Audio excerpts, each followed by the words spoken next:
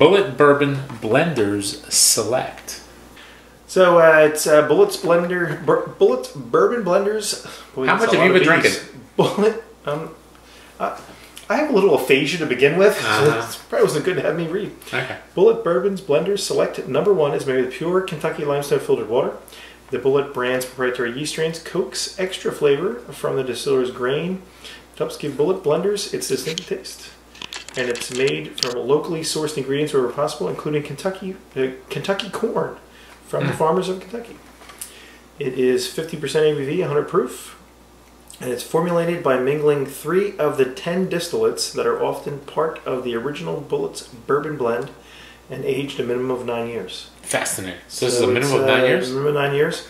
It's aged in uh, identical barrels for Bulleit Bourbon and Bulleit Bourbon Blender Select. Uh, they're both fully matured in new American white oak, flamed to a number four char, and the barrel heads are flamed to a number two char. Interesting. And the, the uh, suggested price on this is forty nine ninety nine for Okay. fifty.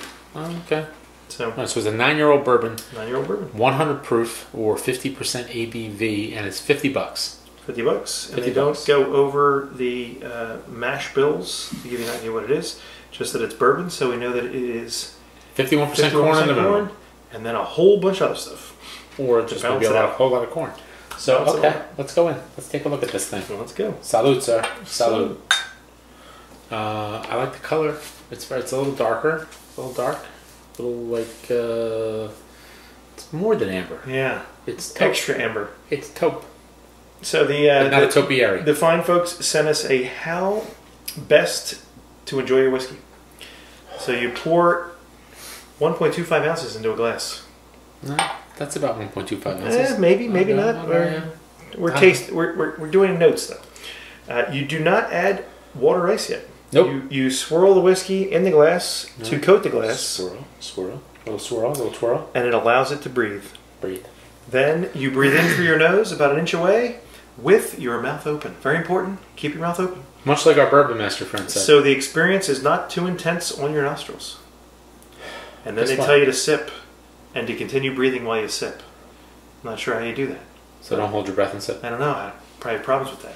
Mm, well, sip, sip and swallow. All right, so let's let's take a nosing.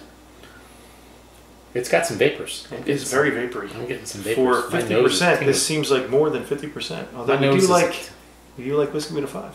I do, I do, I do. It's got a lot of vapors. I mean, I'm getting like a lot of like ethanol or methanol or whatever the hell this stuff is. Someone but not else? meth. No meth. Someone else? No meth. No, this isn't a Breaking Bad. Hey, I am the danger.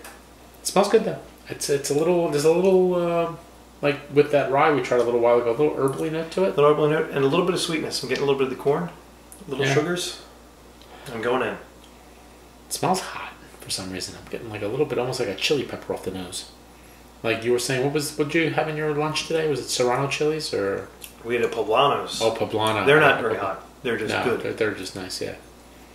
Right, so when you sip, Mm-hmm. you continue breathing, and then you roll, don't swish, the whiskey in your mouth before swallowing.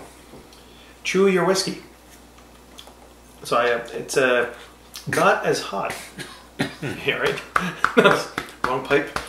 I chew too much. Not as hot as the nose would suggest, No, but very Oh. nice and not as vapory. it's dry though. It's got It's some very dryness. dry on the back note, and it's a longer finish, with a little bit, little bit more of a burn, which I guess is the 50% ABV coming through. They suggest that you add water in small amounts to taste, and it opens up the flavors to give you a little extra. And then after a sip, take a bite of chocolate, cheese, a pretzel, or dried fruit. See if that changes the flavor profile. I got nothing. Which well, I'm not expecting anything on. We've done this many times, but for the hmm. novice, give you a It's it's it's not thick. It's not a very thick whiskey. yeah. It's definitely very dry. Like my whole like right here, like behind my my front lip, my lower lip, is all kind of like anesthetized and dry. parched. My tongue, about the first third, is also kind of parched. But the flavors are nice though. And there's a little bit of sweetness up front, not too much. Uh-huh. So I don't know if there's as much corn in this as we maybe thought. 51% corn, it might not be much more corn. There's a lot of rye sharpness to it and a lot of heat. So I, I, I find that there's a lot of sugars up front, a nice like peppery kind of note in the middle, and then very drying on the back end. That's pretty good. It's like when we had that little tasting a little while ago. You think maybe there's some wheat though? Because it almost has like that Willett type And to balance out some of this, there's some sweetness in it, too. Maybe. Maybe that's uh, to balance out some of the rye. Maybe. Yeah, because it's not super. It's not particularly sweet. Yeah. But I do get like you know the usual, the brown sugar, the cinnamon, all that Mm-hmm. kind of stuff. And Um, it's 51% corn, but it can be 49% of whatever they want. whatever else you got, so, right? So they could throw in rye, they could throw Yeah. in some barley, some malt, some. Uh, Or I could be completely wrong. wheat? This could be ninety percent corn. I have no idea. it is true, you're completely wrong a lot. So Mhm. it could be that way. Whereas I am never wrong. I thought you told me that you're paid to be wrong every day. Never wrong. I'm never right, but I'm never wrong. okay. it's like hey, I just guessed.